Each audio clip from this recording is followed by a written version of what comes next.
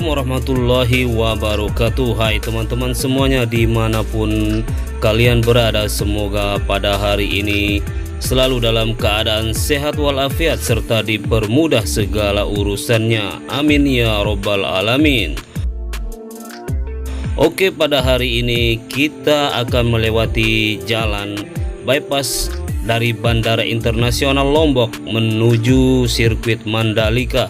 Dan ini adalah jalan yang merupakan alternatif agar lebih cepat menuju sirkuit Mandalika atau kawasan Kek Mandalika di mana jalan bypass ini eh, panjangnya 7,3 km dan beberapa hari yang lalu Bapak Presiden Jokowi mencoba melintasi jalan bypass dari Bandara Internasional Lombok menuju sirkuit Mandalika ini menggunakan sepeda motor dan sekalian e, mengecek kesiapan baik itu yang ada di luar sirkuit Mandalika ataupun yang ada di dalam sirkuit tersebut.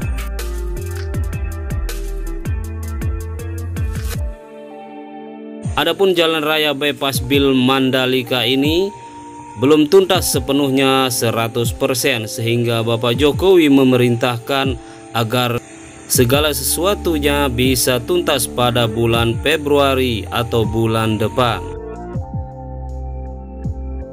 Oke teman-teman pada kesempatan kali ini saya mengajak teman-teman untuk berdoa agar event MotoGP pada bulan Maret nanti atau event-event yang lainnya yang ada di sirkuit Mandalika bisa berjalan dengan lancar. Amin ya robbal alamin.